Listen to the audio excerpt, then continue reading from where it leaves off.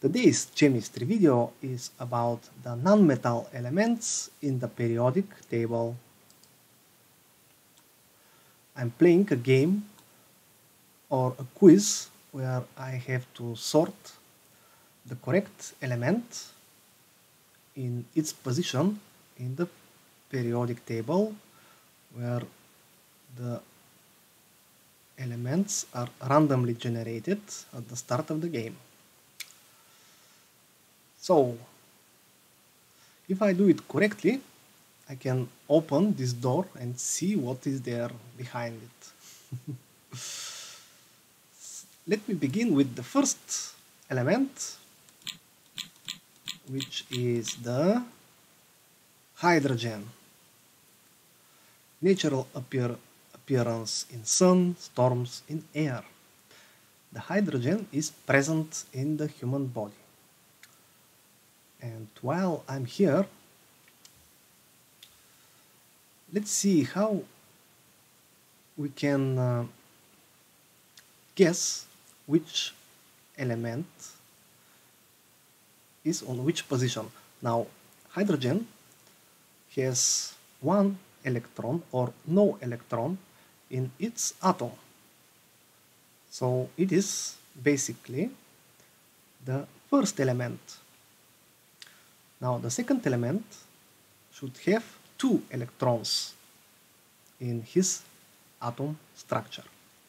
But this is a general rule and it doesn't apply for every element, I think, because it is much more complicated as the elements, the atoms uh, and molecules have layers and um, layers with protons and electrons, one, two, and more.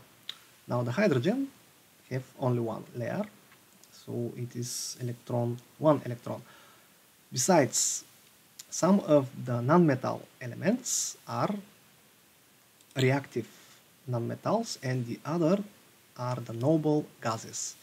Now the noble gases are here on the, at the most right part of the periodic table and they're in blue color. So I'm searching for the second element which is, now I can use the SK to rotate the elements. That should be helium helium. The helium is a noble gas and it is the second element in the periodic table with two electrons circling in the atom. Natural appearance in Sun in, and in planet Jupiter, for example. It is used for flying balloons and it is not present in the human body. Now, everyone from the noble gases cannot be found in the human body, while the other reactive nonmetals, most of them, they can be found in the human body. So, second element, now uh, element 3 and 4 are alkali elements, so I will skip them and we'll play the alkali quiz in the next movies. Right. Right so three four five that should be the sixth element. Now the fifth element I think is a metal. It's a metal. But we are looking at the non-metals. So I'm rotating them to find the carbon. This is the sixth element and in general it has six electrons in the atom. Natural appearance in every life form present in the human body. Now the element 7 that is nitrogen but it is not sorted correctly here is the nitrogen, the seventh element. I can use the hint, but I will do it later for obvious reasons. Now the nitrogen has 7 electrons in his atom. It is used for protein fuel present in the human body. So if uh, I had to take a bodybuilding, I should uh, consume nitrogen rich foods and drinks like the coffee or not.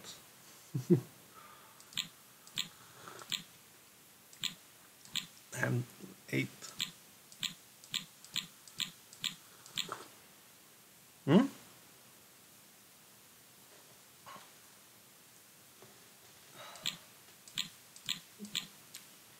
Now the eighth element is the oxygen. Very popular chemical element, natural appearance, appearance in the air. The air is rich of oxygen actually. Our air is 21% oxygen. uh, present in the human body of course and uh, it has 8 electrons in general. The element 9 is the fluorine. It is used in the toothpaste and this is one of the reactive nonmetal that it is not present in the human body. Fluorine is actually uh, poisonous in large dosages, in large in larger dosage dosages, plural. Yes, and because of it, there are toothpastes that, uh, or at least they say they do not use fluorine. Fluorine. Now the element number 10 is a noble gas and it is the neon. I just need to sort it correctly in the periodic table. Where are you? There it is. There is the neon. This is maybe something 20.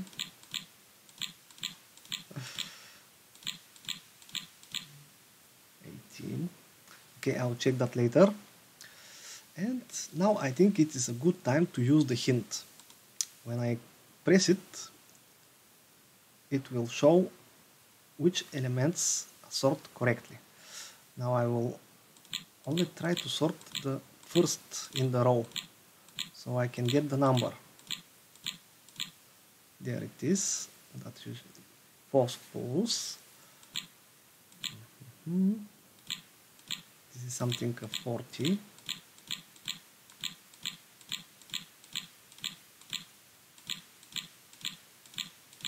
huh. ah there it is 53 and the hint has expired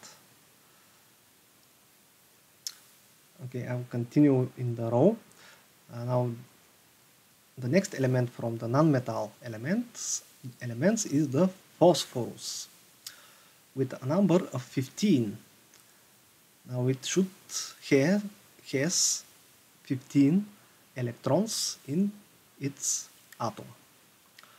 Natural appearance in the body, in the human bones, and is present in the body. The next element of the nonmetals is the element number 16, which is, this is the sulfur natural appearance in egg yolks. It is present in the human body, although it is strange because uh, when it uh, is in a solution with water, it can become dangerous, I think, or maybe not. Another reactive nonmetal element. The next non-metal element is not carbon, but because we have it already, this is number 17. It is a yellow one, that is the chlorine. It is used in swimming pools as disinfectant and it is not present in the human body. now I can see that the elements from the right yellow row are actually not present in the human body. Maybe all of them. Okay, fluorine. And element 18 is the argon, another noble gas with approximately 18 electrons in the atom. It is used in light bulbs and it is not present in the human body like I noticed earlier all of the noble gases are not present in the human body. And now I'm going to the next nonmetal which is in the next in the lower row of the periodic table that is the selenium used in copiers copy machines and it is not present in the human body. Actually, elements with that such electron numbers are pretty rare, I think. Let's see which one is 35. Let me use that K. Ah, there it is. That is the bromine used in photography and it is not present in the human body. Bromine. Bromine. The next one, element number 36 with CK. 36. Who are you?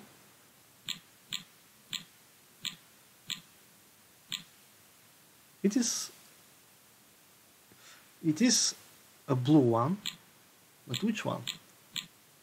Ah, there it is. Krypton. Interesting.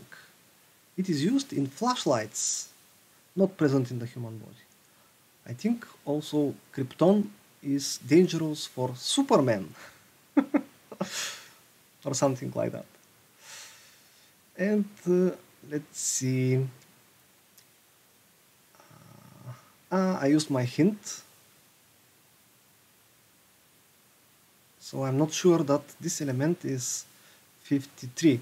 But hey, let's sort the noble gas, the next noble gas in, in the column. And I will tell which is the previous element. Now it's not neon, it is not krypton, I think it is the xenon.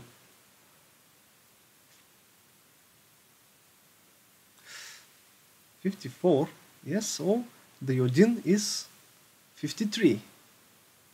That should have has fifty-three electrons in the atom. How does this atom hold them? But I have to trust on the people who have made the electronic the the periodic table. And there are two more elements to sort from the nonmetal. That is one reactive nonmetal and one noble gas where the noble gas should be the radon. Let me just make it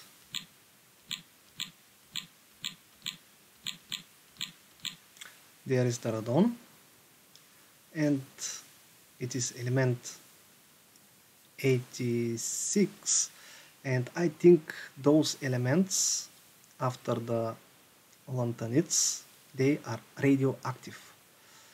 So before the radon as number 85 should be an element that is also considered a metal that is what I remember for it, and that is the astatine. Uh, and it is, of course, radioactive. Lately considered as metalloid. It seems that it is used in medicine, and the radon used for surgical implants, and it's not present in the human body. I think this is the correct arrangement of the, non, the, of the non-metal elements. Now I have to try and open that door. Yes. And what? Mission success. Now you know more. And what I found is an old alchemical uh, scroll that says transmute lead into gold. Lead atomic number is 82 and gold atomic number is 79. The numbers are the protons they possess. Usually the protons are equal to the electrons, but again, I don't think that apply in all cases. I'm still newbie in chemistry, but I really like to learn a lot about it for my future projects. now, changing the element requires changing the atomic proton number. If you find the tools or the means to remove three protons from the lead atom, and tada, you have the gold. To or mean, make sure do not. okay, so this is the educational dosage for today. Until next time and new meetings.